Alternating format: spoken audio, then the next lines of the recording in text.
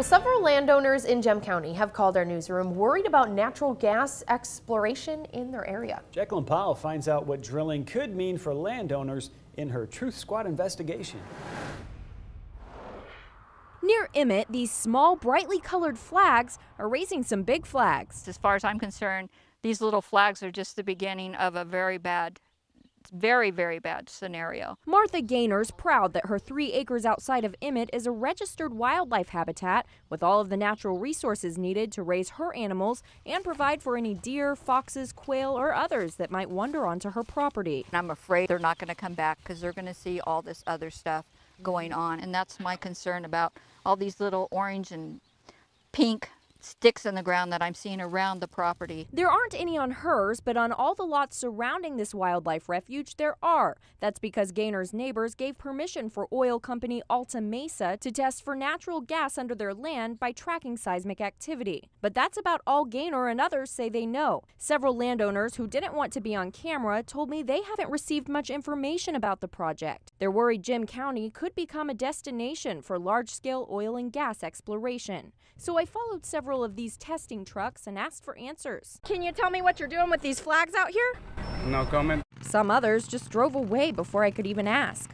Can I ask you why everyone's being so secretive? No one will tell me what's going on. Everybody's driving away when I come up we're not allowed to speak to to anybody. But this man did direct me to Alta Mesa's Idaho spokesman, John Foster. We're going to see good benefits to the community as a result of what's happening out there. The testing is just the first phase of exploration for natural gas. Each flag, surrounded by wires, marks where data is collected each time sound waves are sent thousands of feet down in the ground. Computers then map out where there's likely to be natural gas, and then the company begins acquiring permits to lease these underground areas for drilling. That's where things get tricky. Sometimes we're exploring for minerals underground, and the person who owns the surface up top, they're not the same people. In Idaho, many properties don't include mineral rights, which is the ground underneath a plot of land. The state owns those mineral rights and can auction them off to companies without permission from the landowner. I'll show you how it works. Say this bowl represents a reservoir of natural gas and it falls under several plots of land with an owner here,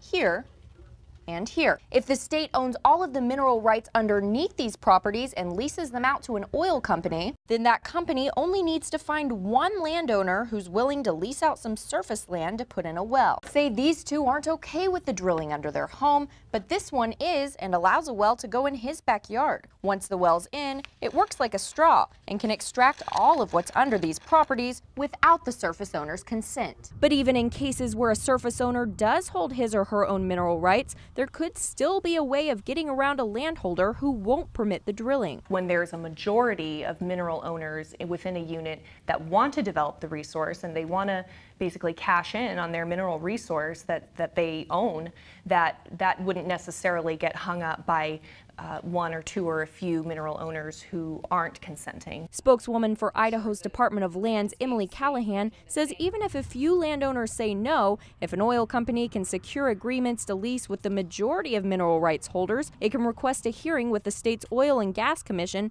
to gain access anyway. If the company finds gas and sells it, then every landowner, even those who didn't consent, shares in the profit. But Gaynor, who believes she does own the mineral rights to her land, doesn't care about the compensation. That's not acceptable. I don't think anybody has a right to encroach on anybody's land at all, period. Gaynor says she also worries about the possible impact on the environment. But Alta Mesa and the state say some people may confuse drilling and fracking. With fracking, workers break rock and use controversial chemicals to draw out trapped natural gas. Some claim it can pose a risk to well water and cause earthquakes. But in Idaho, companies say they can get the gas through the regular drilling process. It's done in a very safe, responsible way. The Department of Land says Idaho's rules and regulations for drilling are conservative compared to other states, and Alta Mesa promises the opportunity to reap substantial economic benefits is there as well. We wouldn't be out there doing this project if we didn't think there was something there that, to, that was worth finding. Jacqueline Powell, KBOI 2 News. And Idaho brought in more than $2 million last year for leasing the mineral rights for oil and gas exploration. In Payette County, 15 wells are already producing natural gas. Add those to the ones we could see in Gem County, and that amounts to millions more for the state. And we are told that most of that money goes toward education.